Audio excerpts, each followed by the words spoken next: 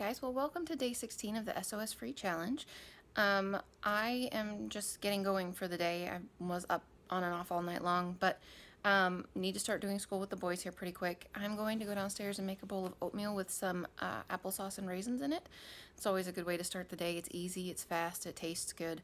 Um, and then I think I'm going to, hopefully Connor will be able to take care of some of his either science or math by himself for a little while.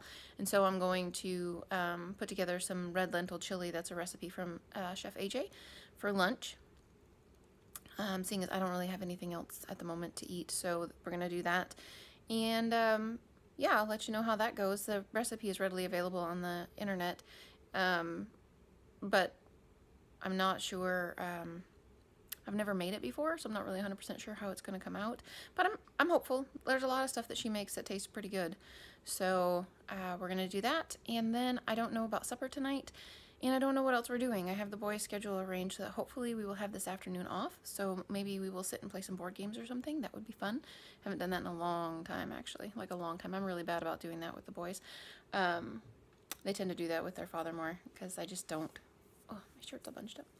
I, I just don't I find like I always have something else that I need to do, which is, you know, true and not okay at the same time. So, anyways, I'm to go have some oatmeal and get my day started and start school with the boys, and I will talk to you guys again later.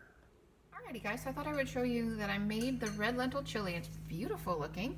Um, it is definitely not quite as flavorful as it needs to be simply because um, I probably didn't add the right amount of chili pepper to, or chili powder, excuse me.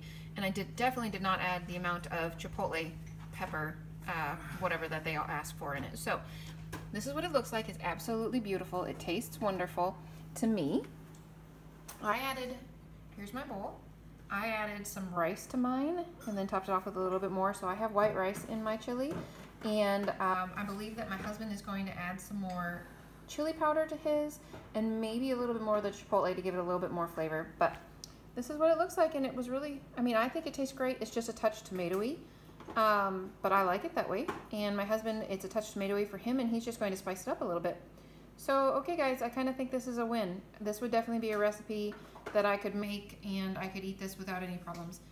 It might actually even be really good to add some corn to it after it's already cooked so that it adds a little bit more um, like a texture to it.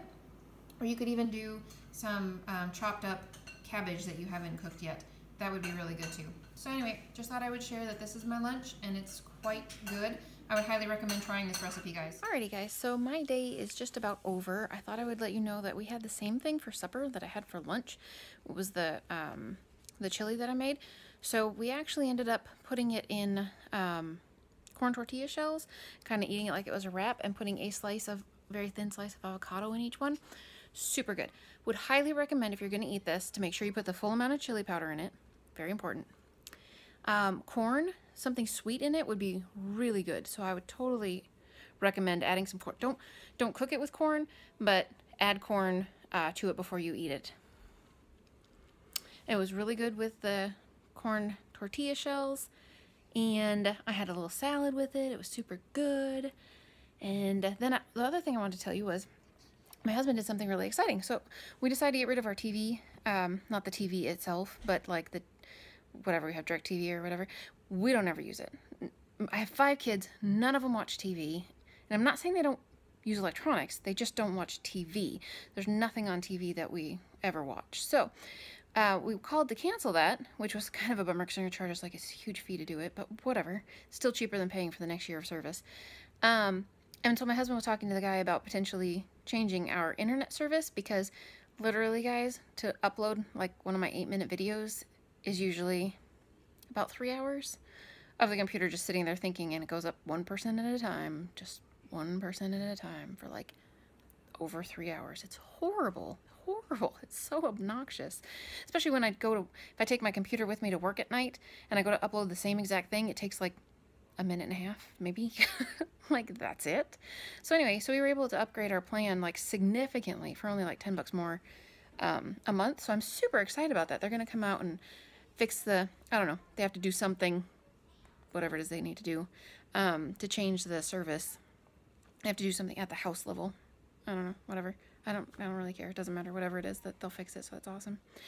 Um, so yeah, that's it for me for today. Um, and then tomorrow I am going to um, I'm gonna try to find something else to make that will hopefully be tasty and delicious because this red lentil chili thing worked out real well. Um, that was awesome. And then um, I need to go to the Asian market and get some Asian inspired groceries.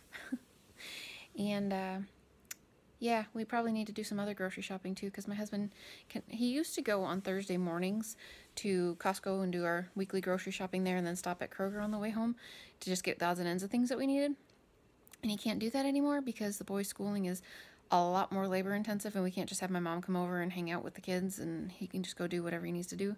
It just wouldn't work anymore. So anyway, that's not going to happen. So we need to go probably Sunday morning. It's like at 10 o'clock as soon as Costco opens because weekends are ridiculous at Costco. It's awful. But uh, get in and get out. But anyway, so tomorrow I will be in touch with you guys and let you know what's going on and all that good stuff. And uh, yeah, otherwise, just hanging out, chilling. I need to do laundry. Samantha has a friend coming over on Sunday. To, I don't know. Have you guys heard of mums? Anyway, it's this like flower thing that they do for homecoming here in Texas. Maybe they do it in other states too.